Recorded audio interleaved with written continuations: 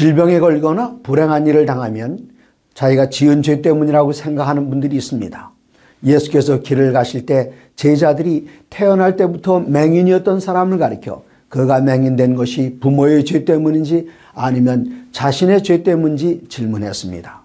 예수께서 대답하시되 이 사람이나 그 부모의 죄로 인한 것이 아니라 그에게서 하나님이 하시는 일을 나타내고자 하심이라고 요한복음 9장 3절에 기록되어 있습니다.